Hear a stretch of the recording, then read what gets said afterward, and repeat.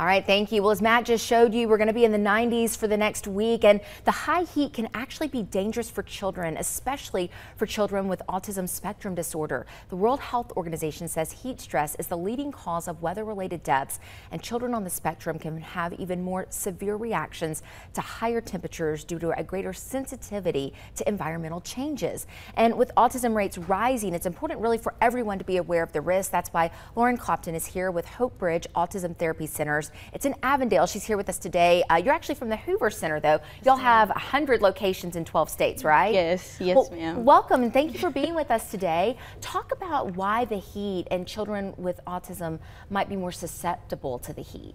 Um, like you mentioned earlier, um, it can induce like some stress-related conditions and serve as precursors for some of those um, behaviors that they may engage in and suffer from.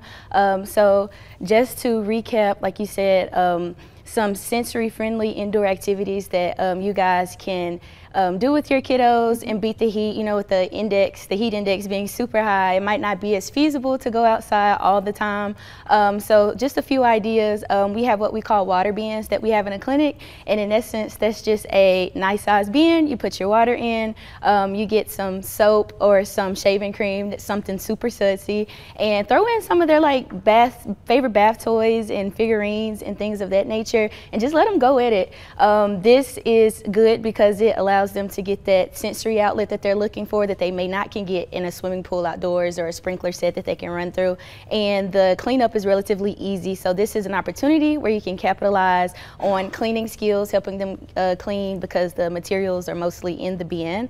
Um, another one um, would be some interactive and movement activities. Um, so play their favorite song, play your favorite song, have them um, dance with you, and you can really work on those listener um, skills and modeling skills. Um, I know I have a, a, learner in a clinic right now who's three that loves the cha-cha slide. I would have never knew a three-year-old knew about the cha-cha slide, but you know, through modeling, it became an activity that was fun for both of us, and that's something that you can do inside as well.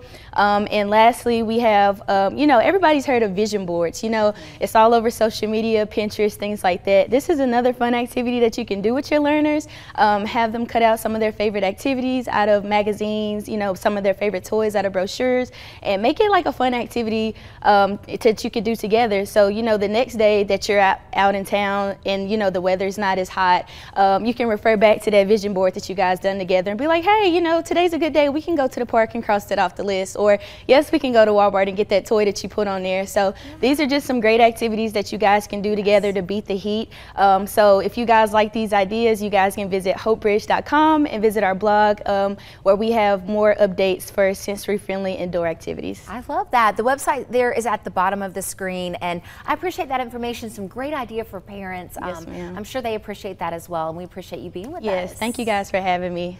All right, coming up on Now at 11, we'll have more. Uh, we're actually going to be talking, uh, we're going to have our Queen of Clean segment. You don't want to miss that. Stay with us.